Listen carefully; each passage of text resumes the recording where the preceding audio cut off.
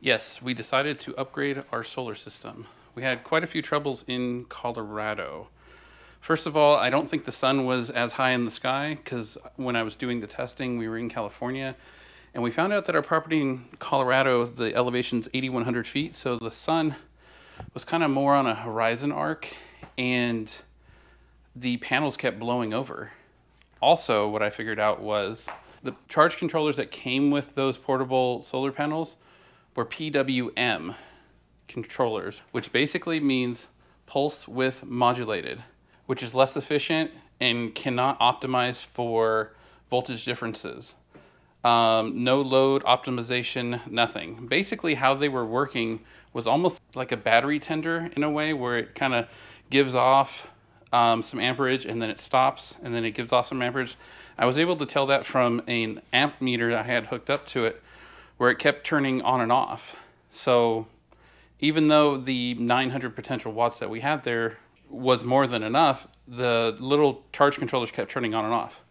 So upon further research, we are upgrading to MPPT controllers, which basically stands for maximum power point tracking. They're more efficient, they can optimize for voltage differences and DC load optimization. All that kind of just basically means they're more expensive. So basically what we're gonna do is, this is a 100 watt panel and I bought 10 of these to put on top of the trailer. So that's a thousand watts and I'm going to be running them through a 100 watt charge controller. I bought a 60 watt charge controller. I'm going to use that to power the, um, the portable ones. I have to make a, an adapter to make those work. And then we're also upgrading the battery. So I'm not going to use a, a lead acid car battery anymore. I'm going to use this bad boy. Now it was kind of hard to get. I kind of had to order it in advance but I got an SOK battery which has uh, 206 amp hours. It also, this is the high-end model which has an internal uh, heater. It's on, it's metal. It's, it's pretty much overkill for what we need and we can add more of these if we want to. So more on the panels we got. I got the monocrystalline panels I watched a bunch of YouTube videos. Um, pretty much people were going back and forth about whether monocrystalline or polycrystalline were better. I went with the mono. The manufacturers say they're better. They're slightly more efficient. They're a tiny bit more expensive. It was pretty negligible. How I got to this size was I measured the top of the trailer and they, they sell the 100 amp and other ones in a bunch of different lengths and widths. This is the this is the size I chose so that I could shoehorn as many on, on there as I could. So I'm fitting 10 on there, which is way more than I need, but I don't know what I'm going to be using the trailer for in the future, such as building a house, building a cabin. I want as much potential power as I can. So how we're going to mount it is I'm going to use this extruded T-slot aluminum. It's kind of overkill, but it's, it's all the way on top of the trailer. It's going to be hitting all this wind as we're driving. I kind of want to overbuild it because I don't want to think about it. Like I just want to know that it's up there and it's secure. Today what I'm going to do is I'm going to lay everything out. I'm going to loosely bolt everything up so that I can get the dimension for some more um, L 90 degree aluminum that I need to order. So I think we're going to get started on that. I, I, still need to order a ton more wire. It's actually on its way. Here's a crimper that I got.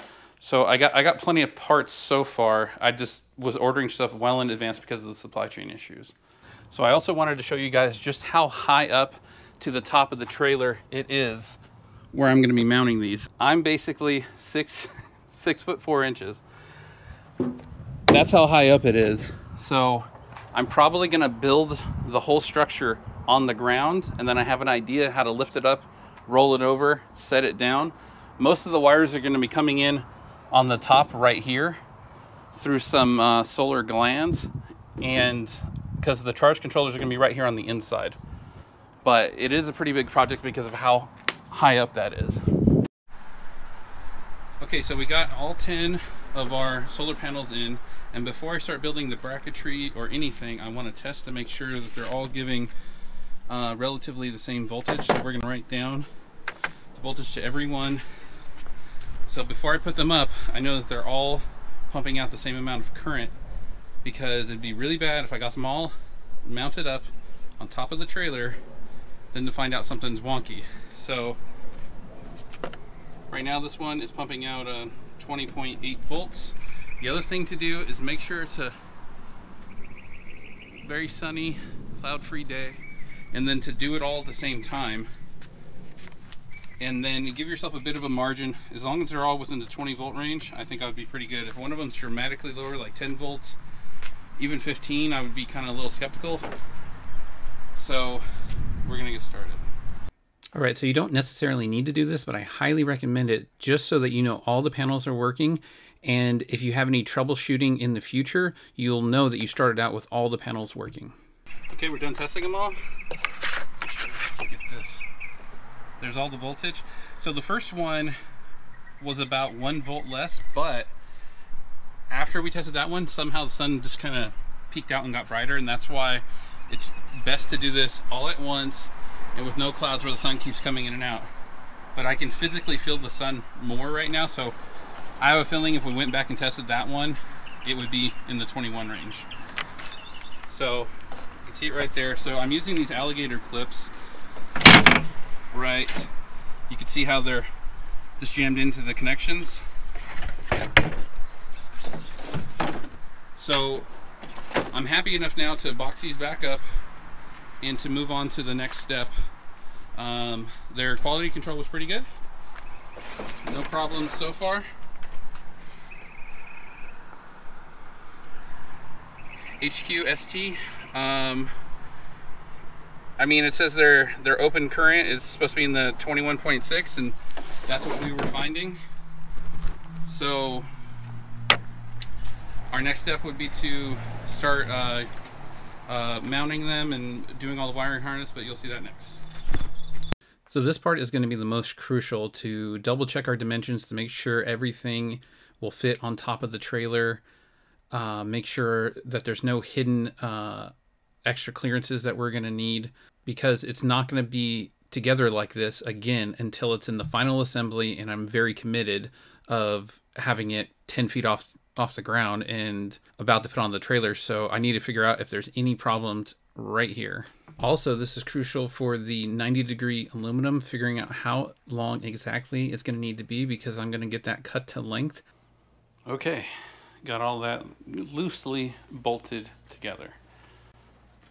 It's kind of funny when you build something like this that you've been measuring forever and it just looks like a double checking to make sure that whether this is going to fit on top of the trailer.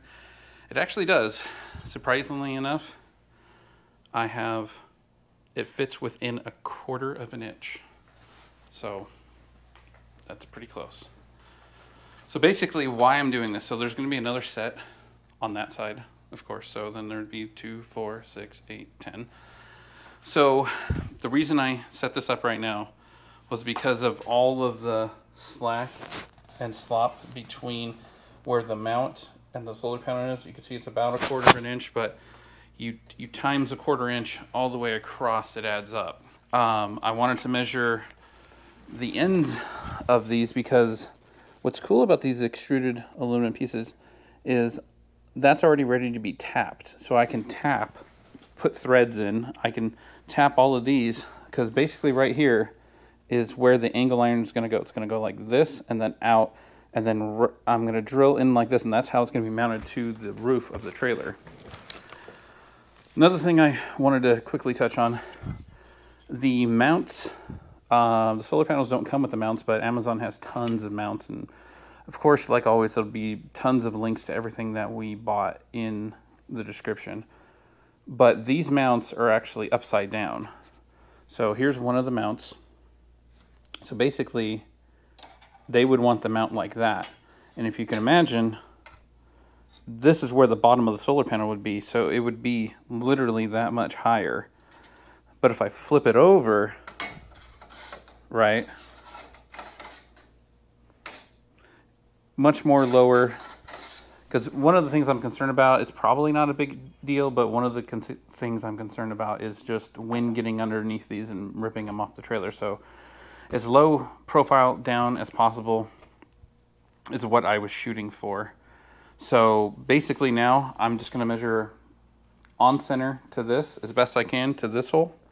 But pretty much I'm going to go from this hole to those, this hole to those, and then so on and so forth. So for one whole side, I have the dimensions that I'm looking for. Also, another thing to consider for me at least is the front part of my trailer is pretty flat. Once you start getting to this point of the trailer, it's kind of curved. Well, curved this way. So these are probably going to have to be a little bit higher than than this. I can make them all the same height, but if I drop this down, there'll be maybe a tendency for less wind to get underneath everything. So if I drop this side down, so it might look kind of interesting. So the front panels might be slightly angled down. The middle panels, the middle three might be flat, and then the back, the back one might be uh, angled down again. So it might be kind of just look like a hump. So I think I'm gonna go with that, but I wanted to get all of the the the measurements done, and then I'm gonna take all this apart and then order the side 90 degree aluminum. So I think what I'm thinking about now is two and a half inch by two and a half inch, quarter inch thick. That's pretty overkill for this. So I don't think I'm gonna have to worry about it, but uh, I mean, you can imagine that this is a lot of solar panels and it's a big sail if wind gets underneath it the wrong way. So also it, you know, one of the things I was considering was it, it's a lot of weight up high and unfortunately there's nothing you can do about that. Like any kind of weight that you're putting in your trailer, you want to put it as low as possible and forward from the tires as possible, so closer to your vehicle that you're towing it with. Unfortunately, this just is what it is because it's solar panels and it has to be you have to have direct line of sight to the sun. So, um, also, I was going to mention everything up here is uh, stainless, stainless, stainless, stainless. Um, the bolts that I'm using down here, it's a stainless bolt with a washer, another washer, and then a nylon locking nut. The only thing I couldn't get um, that was stainless was the T-slot. Um, you see it spin right there? that T-slot, um, that piece down there, I got it in nickel-plated uh, steel.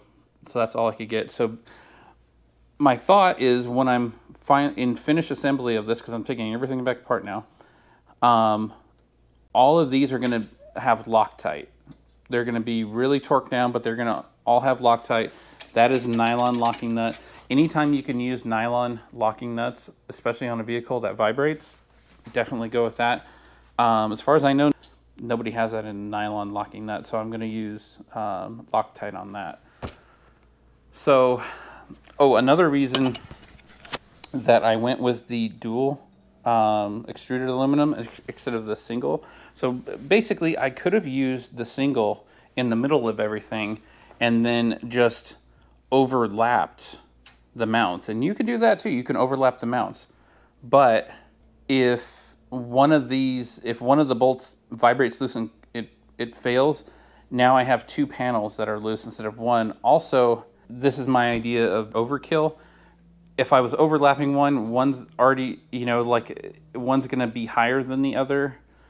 I thought it'd be structurally stronger to do it this way. Also, having a flatter spot where two things bolt in to the, um, to the L rails that are gonna go on the side having it across like that, I thought it would give the whole structure more rigidity the thicker these were and the, the wider these were. So that, that was another reason I went with those. Um, but I was really considering just overlapping them. But then I was thinking about the overall structure of everything and these fit. And I feel like they'll make everything stronger. Because keep in mind, right here, bolted into the L bracket is going to be two bolts. You know, so everything's going to be kind of overbuilt. So now um, I'm just going to get to measuring everything. All right, so all the measurements right here are incredibly crucial so that I know exactly where to drill the holes in the uh, the 90 degree aluminum. It's not going to be together like this again until I'm in the finished assembly because of how much room it's taking up. So it has to be perfect. Okay, so we got all the measurements. There's a lot of slop in the whole system. Like it really expands and contracts. So the holes that I'm putting into the angle on the outside are going to have to have a lot of slop just to make sure. Um, also, one of the cool features of this, see that groove right there? That's exactly the center of that hole. Um, it's the center of the slot too, so if you need to drill into that, they're very user friendly if you're used to fabricating. So now I'm going to tear everything down. I'm going to order the aluminum angle and then um, we'll be back at this probably be almost a week to get that uh, aluminum in and then to probably the next step actually will be drilling all the holes in the aluminum and then tapping all of these holes and then actually cutting these two sides. Thanks for watching. In the next episode, I tap all of the T-slot extruded aluminum and I show you how to do that and why I'm doing it the way I'm doing it. I ordered the 90 degree aluminum and we get it in and we start drilling it from all the measurements that we got in this video. And then I show you how I'm cutting all of the T-slot aluminum. It's easier than you think it is. So please stay tuned, like, share, and subscribe, and thanks for watching.